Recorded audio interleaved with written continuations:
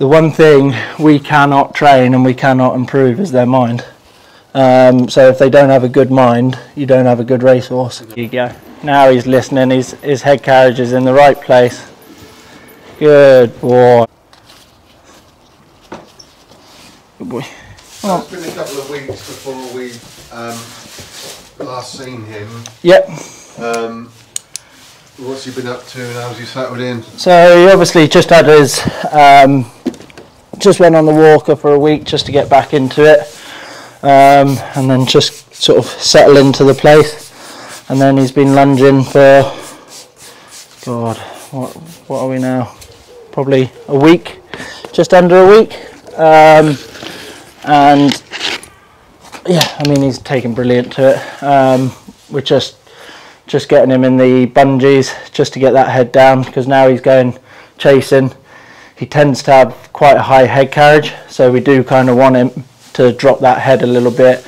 And for chasing, we want him more rounded. Um, hurdling, you know, you go long and flat. Chasing, you actually have to jump him, you know. A few days of lunging, um, and then hopefully we'll be ri- riding away by the end of the week. You know, when we spoke on the phone the other day, you, you mentioned about the tendons. Can you just kind of explain that again? Yeah, so just naturally with any horse um, that's had a few months off, bit of a layoff, um, tends to there tends to be sort of two places of fluctuation. Tends to usually be joints and sort of tendon.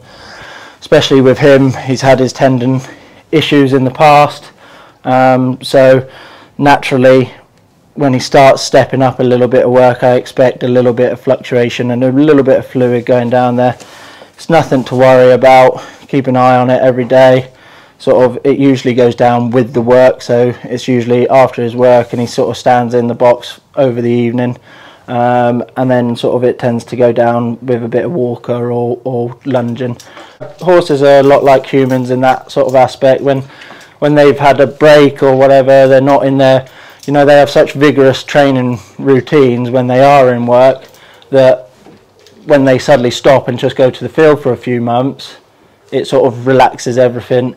You know he we're quite lucky he's kept his top line this year um, and everything but he obviously has got a bit heavier. So when when he comes back into work it's just a bit more pressure through that tendon. That's why we've just got to be a little bit on the cautious side to begin with to sort of make sure that we're not overstressing anything because ten, a lot of tendons tend to come from fatigue. So that's where we don't want to push him too soon, too early. Just build him up gradually, keep an eye on it. Like I say, I've been very happy with his legs since he's come. So um, just with that little bit of fluctuation, which I So anticipated It's, it's anyway. really sort of patient and gentle, gentle. Yeah, exactly. Look, and and sort of doing the best by him really, um, and sort of letting him tell us when he can do more.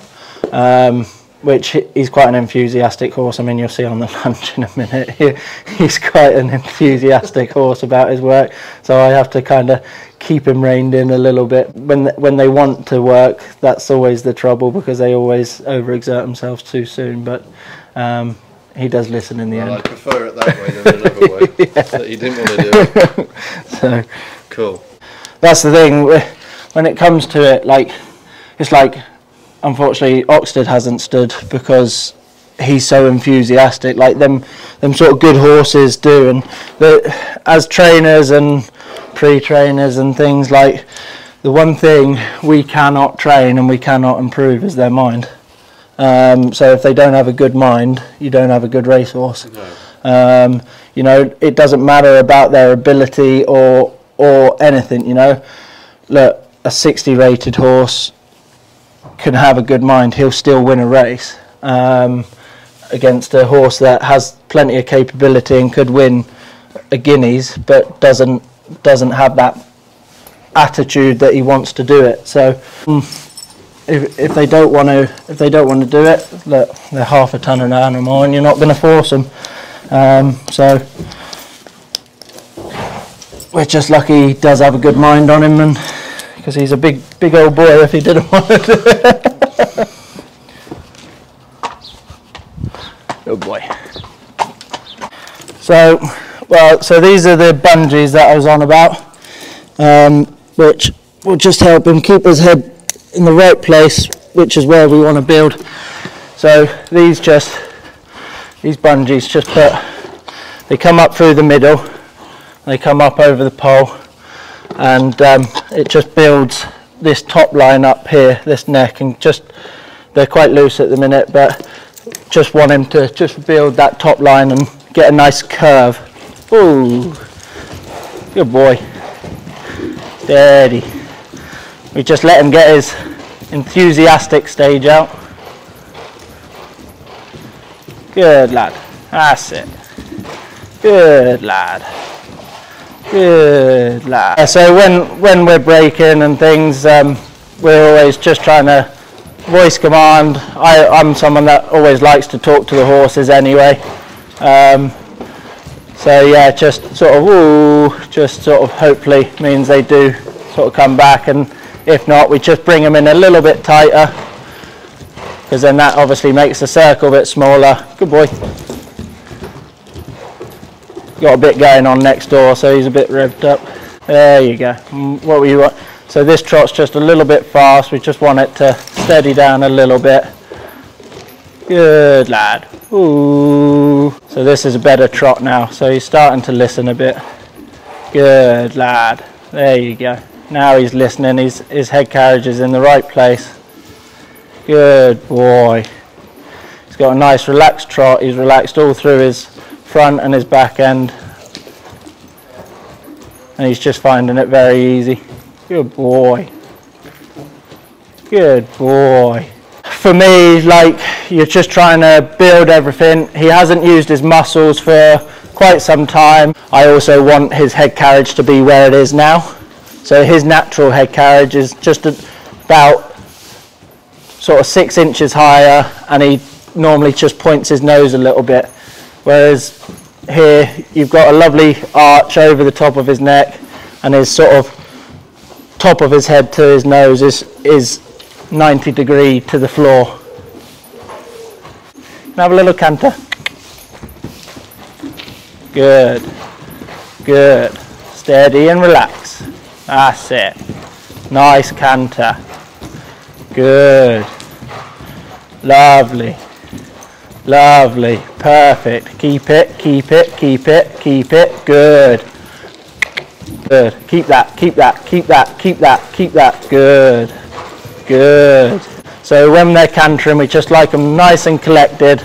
Again, nice and rounded. A nice, good boy, nice sort of rounded canter, which just means they're bringing their knees up and they're just sort of going nicely through, relaxed and doing the work. Good. There we go. Now we got him listening. Go on. Not that far. Good. Good. Good. Okay, now you can walk. So when we're also doing it, when I say wall, we always want him to listen to me, and so don't want him to go from canter straight to walk, because just want him to have a bit of manners, and then just trot, and then when I'm ready, make him walk, and then I like to make him walk a circle. Um, before then, we'll change the other way. Ooh. I wish. so this next rein, the right rein, is Max's worst rein. He's not very good on this rein, so he's he's learning how to to actually go on this rein. Because I, I presume when he was broken in in France, they probably just broke him in on the one rein and sort of didn't lunge him on this rein. Good boy. Come on then. Good lad. Good lad. That's better. Good boy. And they always like to have a play again when they change the rein for some reason. Good boy. Get that out of your system and we'll do the proper work. Good. Just relax that trot a bit. Relax it. Good. Just see with this trot currently, he's just a little bit tense through his shoulder. He's just a bit tense through his neck then and it's sort of translating to his head. So we just want him to, there, that's better. Now he's relaxing there. It's just, it's a very slight change, but it's just an inch in his head carriage and just sort of a more relaxed eye and more relaxed through the shoulder. See how now he's really fluid through his shoulder to his back end? And that's what we want. And again, his head carriage is nice. Good boy. And he's not fighting the bungees because there's a little bit of slack in them. So he's doing this all off his own accord. The bungees are there just as a guide. So when they do put their head up, it just puts that little bit of pressure and it's like us holding a weight up for, for a short amount of time. Sort of the longer you hold it, the heavier it feels. So that's just what the bungees work like. Just so then when he relaxes, it then slackens off and it's easy for him. Good. Keep that. Lovely trot. Lovely trot. Very nice. Very nice. Concentrate. Good boy. That's it. And have a little canter. Up. Up. Oh, fresh boy. Yeah. Good boy. That's it. Keep it, keep it, keep it, keep it, keep it, keep it. Keep it. Good. Ah, ah, ah, good. Just concentrate. Listen to me. Good. Better. Keep that. Perfect. Oh. Go on. Up. Up. Good. Relax. Come on. I know you're. Ooh, just relax. Come back to steady trot. So this is obviously his tougher rein. So whereas he found the canter, keep going, a bit easier on the left rein. Now we're asking to do it this way because it's quite unnatural for him because he's probably not done it that often. He's finding it difficult to maybe just turn that neck slightly inwards and just keep on the nice circle and keep it collected. So what he does is he goes from a rush to a sort of once he gets it, it's probably a bit difficult for him. So he, he comes back to a trot because it's easier for him. So we'll just let him relax again and then we'll try again.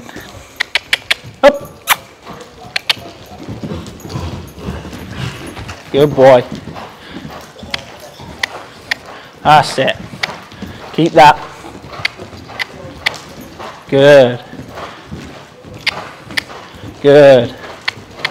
So naturally, because this is his harder rein, he's finding it more difficult. So he is a bit more tense.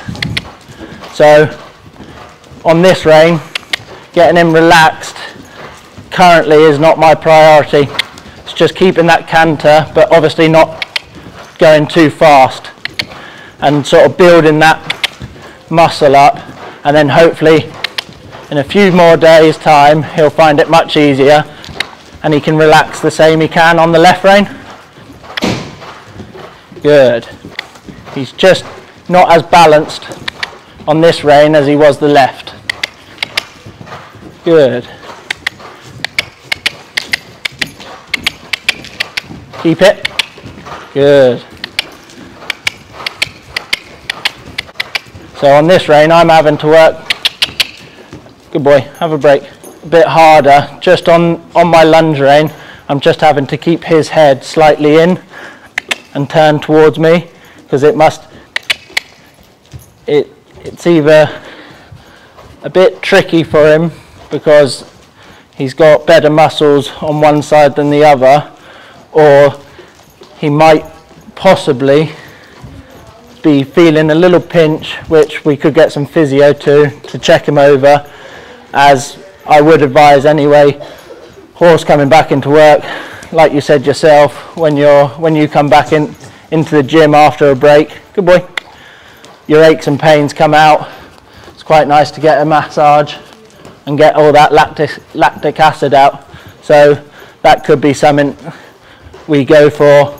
I wouldn't say necessarily now because he doesn't look tight, he doesn't look in pain, but definitely sort of over the next week or two. It's like children, like toddlers and whatever, you always try to end with them listening to you and sort of end on a good note. Good boy. Walk on. Good boy.